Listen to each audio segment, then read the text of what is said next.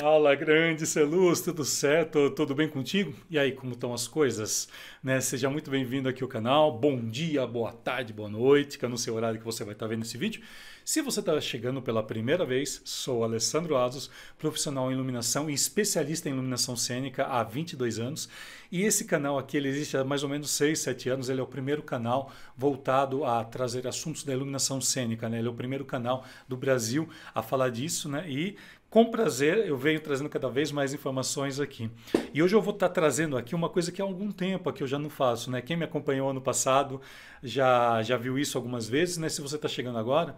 O ano passado, o que, que eu fazia, né? Toda semana eu acabava tirando o que eu chamo de cartas de carreira. Então eu tenho um, tem um joguinho aqui de cartas para a gente pensar em carreira, tudo isso daqui eu brinco com ele, né? Eu faço. É, esse jogo aqui é um jogo que eu tenho com, com a é, com, quando tinha, né, quando fazia presencial, porque nesse período aqui a gente não está conseguindo fazer presencial, por, por, isso que eu não sei quando você vai estar tá vendo. Então, no presencial, eu sempre trago né, as informações porque eu sou o único canal da internet né, em iluminação cênica que eu falo sobre carreira. Nenhum outro canal se preocupa com isso. A grande maioria se preocupa mais de estar tá passando software, está passando um monte de, às vezes, informação inútil. Desculpa estar falando isso, mas eu sou muito sincero. Né? É, isso também é um feedback que eu recebo das pessoas que me, que me, que me buscam, que me procuram. Né? Você pode estar tá vendo aí, né? quem me quem me segue aí sabe disso, que eu sou bem sincero quanto a isso. Muitas vezes coisas que você não vai utilizar. E esse canal não, nesse canal aqui eu falo coisas úteis. Eu acho que por eu ter uma característica muito forte né, dentro do, do presencial dentro da questão técnica, né? porque eu trabalho desde o processo de montagem, processo de criação e processo de ensino de iluminação há muitos anos, então eu tenho uma facilidade que muitos outros não têm. Então eu pego essas características, estudo tecnicamente e trago aqui para você. Por isso que o meu canal é extremamente dinâmico, meus vídeos são bem diferentes do que você está acostumado a ver no mercado da iluminação cênica moderna. Né? Tanto é que eu falo iluminação cênica moderna, por quê? Porque a gente não pode mais pensar a iluminação como se pensava 10, 15 anos atrás. O mundo mudou, as tecnologias mudaram e a base ela pode ser a mesma, mas a tecnologia muda. E o nosso comportamento, muitas vezes psicológico, comportamental, né, é, de montagem, de tudo, né, tem que tem que seguir também né, isso daí. Isso é uma coisa natural aqui do ser humano. Né? E essas cartas de carreira, elas vêm falar isso, né? elas vêm falar de comportamentos que a gente pode ter dentro da carreira. Então eu sempre tiro aqui e improviso alguma coisa em cima disso. Né? Então eu já já misturei elas aqui. Espero que não saia nenhuma carta que já tenha saído, que teve uma vez que saiu, mas vamos lá então. Então eu vou estar tá pegando aqui uma carta, você está vendo que eu vou selecionar aqui no meio, ó, não vou ver, tal, tal, e vou improvisar em cima dessa carta, em cima do que a gente é legal, do que eu penso assim que é legal. Né? Na verdade, eu estou dando uma, uma, linguagem muito minha né, com, com essas cartas aqui para que a gente possa crescer cada vez mais na carreira. Vamos ver o que saiu aqui. Interessante isso daqui. Ó, a pergunta, a pergunta. O que você faz que lhe traz conforto, mas não exerce impacto para que você atinja suas metas? Deixa eu mostrar aqui para você, ó. ó. O que você faz, né, dentro da sua zona de conforto, mas que não exerce impacto para que você atinja suas metas. É, por ele ser né, uma, uma, Só explicando um pouquinho dessas cartas aqui, caso você não conheça. É, essas cartas aqui ela tem, elas são, como eu falei, né, ligadas à questão de carreira. Quando a gente estabelece carreiras, né, eles falam aqui que é coach. Coach, na verdade, é um técnico que ele vai te levar a um certo patamar. Ele vai fazer com que você saia. Né, a gente vê isso dentro do, do futebol, os coaches né, de, de futebol. Isso daí veio, é uma linguagem trazida de diversas áreas. Hoje em dia você tem coaches. Né? Os coaches eles são técnicos que vão fazer com que você saia do ponto A e chegue no ponto B e até alcance ponto C, D e por aí vai. Por isso que fala de metas né, aqui. É, eu vou falar então uma coisa minha aqui, né? O que me traz conforto é, não exerce impacto que eu alcance minhas metas. Cara, se eu, se eu falar aqui para você, tá?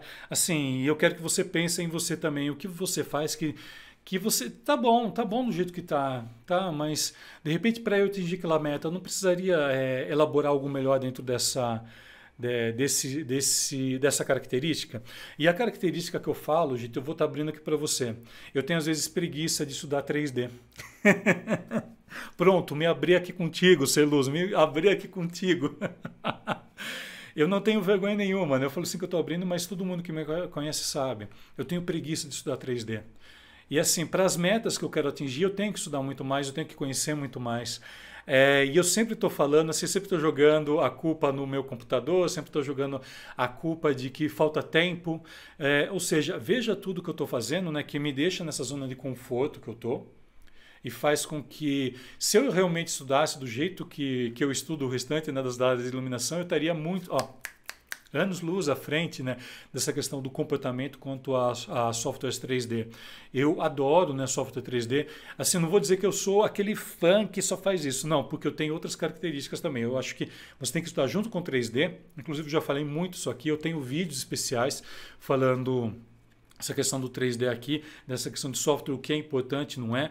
É importante hoje em dia com a iluminação cênica, com o pensamento da iluminação cênica moderna, você tem que entender de software 3D, você tem que entender de software 3D, você tem que entender. Não tem mais como não falar, você tem que entender. Você pode você trabalhar tanto na área técnica quanto na área de, de se você é iluminador, você tem que entender disso.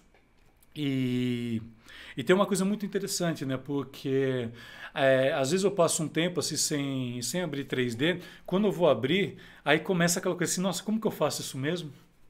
Como que eu faço? Né? Eu mexo, eu falo que eu mexo, eu falo que eu nem opero né, em 3D porque não é uma da, da, das minhas grandes habilidades.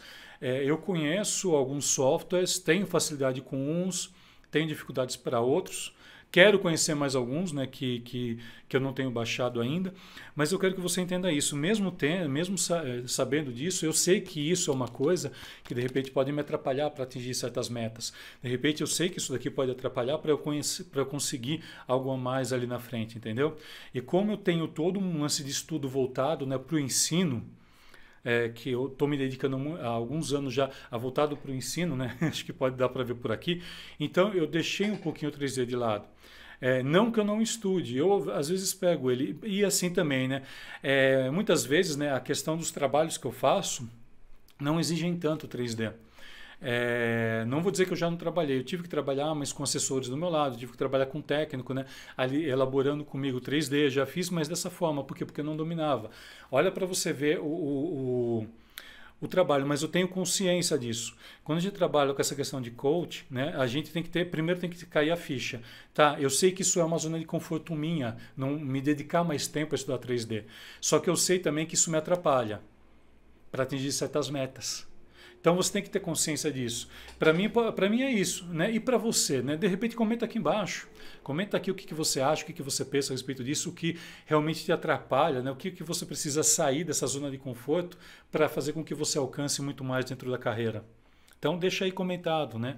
Ah, eu acho importante né, estar tá trazendo isso porque é um assunto que ninguém traz. Todo mundo tem vergonha de falar os seus, os seus limites. E é um limite para mim estudar 3D. É um limite. Eu sou velho, gente. Eu sou velho, vim da parte analógica. Só que assim, eu, por exemplo, quando eu vou, é, quando eu vou trabalhar com um projeto de iluminação, eu vou trabalhando ele dentro do método, é, dentro do método Possibilidades da Iluminação, que é o método que eu desenvolvo. Aliás, eu vou deixar o convite que se você quiser conhecer, está aqui embaixo. Vai lá, conhece a, a, o meu curso online, conhece tudo que ele faz. Ele tem uma página totalmente oficial voltada né, para ele, mostrando tudo que ele faz. É muito importante você conhecer. Além das garantias, além de todos os bônus que você vai ter, né, ele vai estar disponível para você logo após o, o pagamento. Você acabou de pagar, confirmou seu pagamento, você já entra dentro da área VIP ali. Ele é todo feito em sistema EAD de verdade, ele não é simplesmente um bate-papo. Bate-papo eu tenho aqui com você. Né? Mas enfim, eles são aulas ali que você vai ter. Tá bem legal, bem legal. Ah, ah, vê lá, vê lá, vê lá. Ah, o link aqui embaixo. Mas voltando aqui. Então, muita, eh, muitos profissionais têm medo de falar dessa limitação, porque eles se sentem frágeis. Eu não me sinto frágil porque eu me sinto muito bem, porque eu sou um ser humano assim como você. Eu sou um ser humano assim como as pessoas que estão perto de você, as pessoas que você ama, outros profissionais que trabalham com você. Todos nós somos seres humanos, todos nós temos limites. Né? E aqui e esse limite aqui está falando dessa zona de conforto, né? O que, que te traz conforto e que te atrapalha, te atrapalha. Você tem que ter consciência que isso te atrapalha para atingir novas metas, para você, você para fazer você crescer dentro da carreira, tá? Então tenha isso, né, como seu comprometimento, né, que você tem que colocar isso. Então é, eu me comprometo. A partir de hoje desse vídeo eu vou me comprometer um pouco mais está estudando. Eu vou começar a trazer aqui assuntos também de 3D, que as pessoas acham que eu não entendo. Quanto eu já ouvi isso, na verdade eu entendo. É que, é que eu não curto falar isso. Porque tem um monte de gente que fala sobre 3D. Tem um monte de gente. É claro que se eu falar vai ser totalmente diferente, né? Porque eu não sou igual a ninguém. E quando esse canal nasceu, ele nasceu para fazer com que você expandisse sua mente, né? Seu mindset, né? o nome que você quer dar. Ou seja, você expandisse sua mentalidade.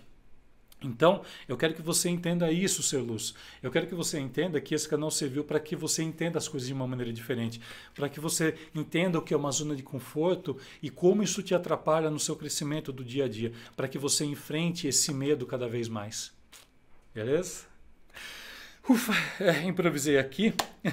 Obrigado por ter ficado aqui. Obrigado mesmo, Celuz. Você sabe que sem você esse canal não existe. Então, ó, deixa seu like, seu joinha. Para mim é muito importante para saber também que essa informação está chegando até você. Pode estar tá deixando aí embaixo alguma informação. E é isso. Sigamos.